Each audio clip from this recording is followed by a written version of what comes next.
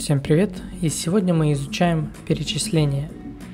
Перечисления – это логически связанные между собой наборы констант.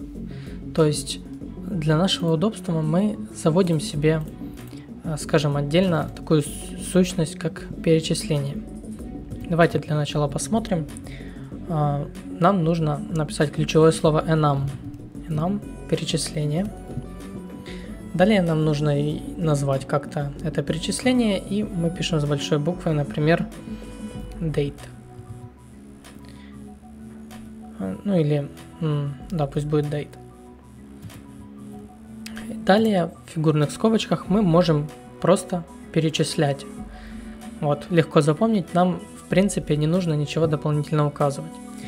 Давайте перечислим. У нас, допустим, есть дата. Напишем day. Через запятую следующие, следующую константу введем. Uh, day, uh, month,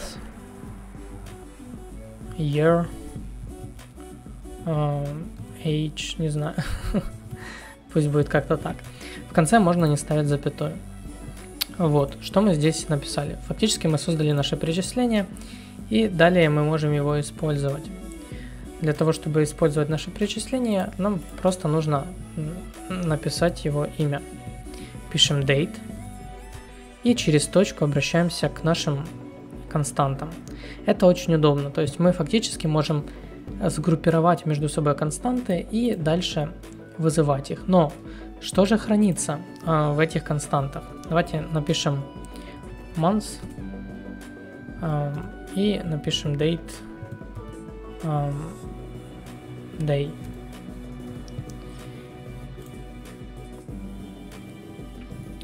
Так, пишет, что должно быть использовано как выражение. Давайте попробуем вывести на экран то, что мы написали.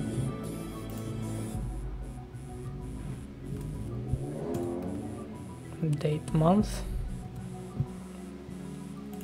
То же самое здесь. То есть просто так мы видим, что нельзя вызывать. Я об этом не знал. Отлично. Что же нам выведет на экран?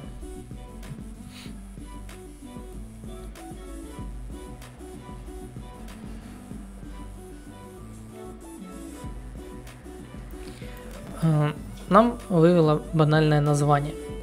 Но на самом деле здесь под этими названиями скрываются а, числа. Что если мы хотим сказать, что а, day у нас равен 10? Вот. А, для того, чтобы преобразовать то, что здесь, давайте сначала запустим, посмотрим, что сейчас выведет, поменяется ли что-то. Мы видим, что ничего не поменялось. Чтобы получить значение, нам нужно привести enum к какому-то типу данных. В данном случае к инту. И запустим, посмотрим. Да, мы видим десяточку. Вот. Но если мы приведем к инту months, интересно посмотреть, что будет. Должно быть 11. Сейчас я объясню почему. Да, мы видим 11. Давайте для начала уберем все. А, по умолчанию наше перечисление, оно как бы представляет тип данных int по умолчанию. И первое значение, у нас первая константа, она а, равна нулю. Вот у нас есть подсказочка даже. А, соответственно, months, следующая за ней будет равна единице, year равен двойке и так далее. Если мы здесь ставим какое-то значение, например, сразу 5, то следующее будет прибавляться на единицу. 6, 7, 8. Если здесь напишем опять 5, то следующая edge будет 6. Вот такая логика. Дальше, то есть мы можем не писать а, тип данных int, но ну, по умолчанию int, но мы можем написать какой-то свой другой тип данных, который мы захотим. Вот.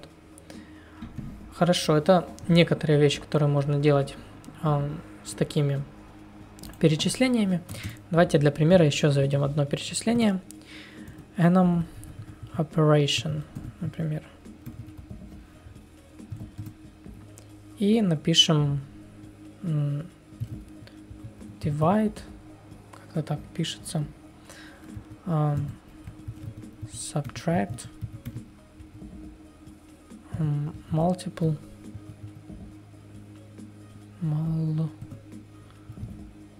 multiply, как-то так, и uh, addict или add, add, пусть будет это. Хорошо. Вот.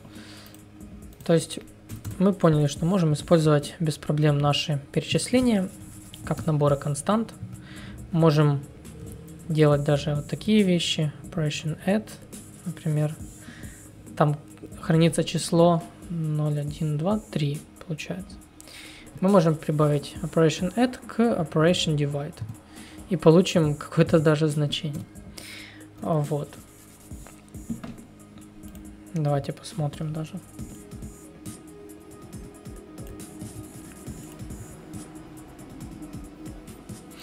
Только нам нужно это все преобразовать в кинту. Интересно, получится или нет.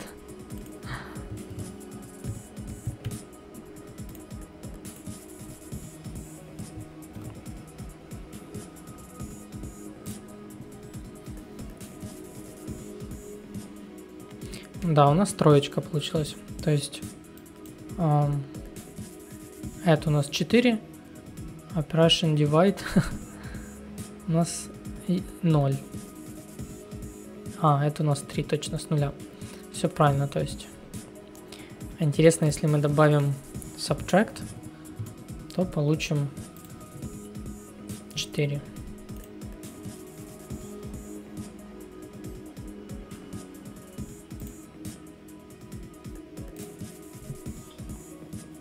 Да, все верно.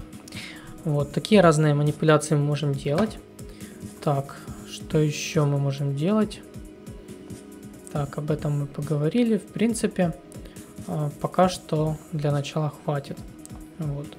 Мы повторили, что мы можем с этим делать. Вот. В принципе, перечисления вы будете использовать довольно часто. И с вами был Art Dragon. Всем пока.